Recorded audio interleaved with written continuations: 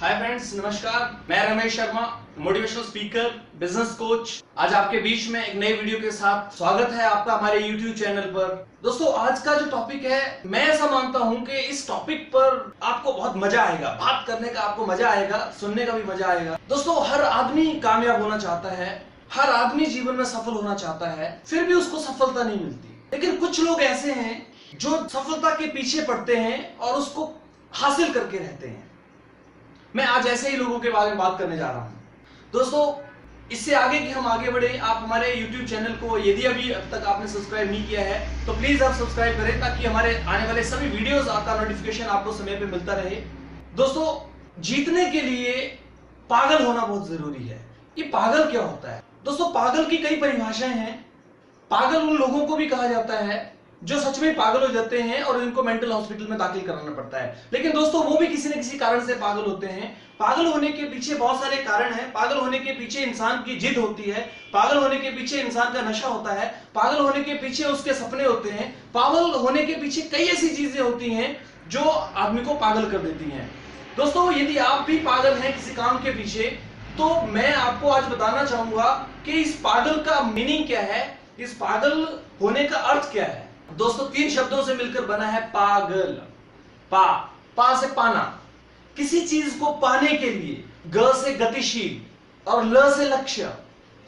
तो अगर हम इसको पूरे को मिला के देखें, यानी किसी लक्ष्य को पाने के लिए गतिशील रहने वाले व्यक्ति को पागल कहा जाता है।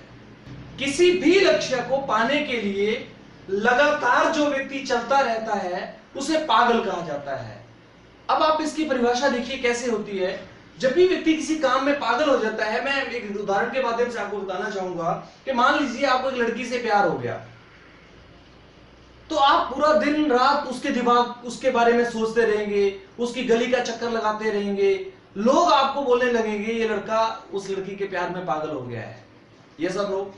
अर्थात आप जिस चीज़ के पीछे लगातार प्रयास करते हुए आगे बढ़ रहे हैं और उस काम में आपका पूरा फोकस है। आप दिन रात उसके ऊपर दिमाग लगाकर, ध्यान लगाकर लगातार प्रयासरत हैं तो आप समझिए पागल हैं। जब तक आप किसी काम के पीछे ऐसे पागल नहीं होंगे, तब तक आपकी सफलता तय नहीं होगी। दोस्तों, पागलपन ज़रूरी है। बिना पागलपन के आप कुछ भी नहीं कर सकते। पागल होना पड़ेगा। पागल होना पड़ेगा अपने लक्ष्य के पीछे। पागल होना पड़ेगा अपने सपनों के पीछे। पागल होना पड़ेगा अपनी चाहतों के पीछे, पागल होना पड़ेगा अपने खुद के डिजायर्स के पीछे।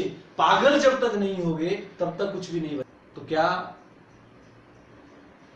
आप भी पागल हैं?